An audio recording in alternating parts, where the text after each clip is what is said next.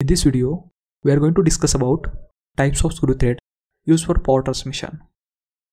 The types of screw thread profiles used for power transmission is based on its application. If thread profile is triangular in shape, then it is known as V-thread. This type of screw thread are also known as unified thread. It has 60 degree thread angle used for fastening because these types of thread are cheap, easy to manufacture and has higher friction for holding two parts. Next is square thread. These type of screw thread are in form of square. The flank of this thread are perpendicular to axis of thread. The depth and thickness of square thread are equal to half the pitch. The square thread is quite square in section, used for transmission of motion and power, as in vice, clamps, and for converting rapid rotary motion into slow linear motion. For example, lead screw of lathe, screw press, jacks.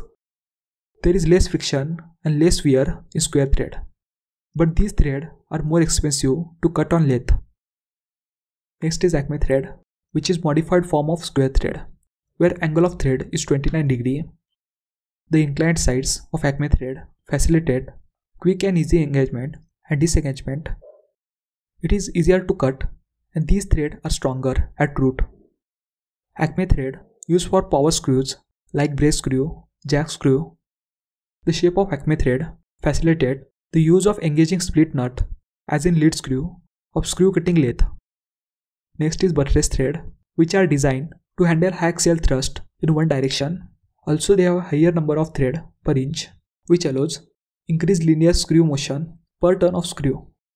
Buttress thread are used for lead screw or power screw in machines with high loads. Also used in construction of artillery.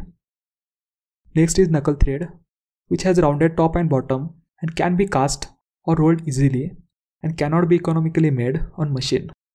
These threads are used for rough work. They are usually found on railway carriage coupling, hydrants, necks of glass bottle. Whitworth thread is a symmetrically V thread in which angle between flanks measured in axial plane is 55 degree. These threads are found on bolts and screw fastening for special purpose.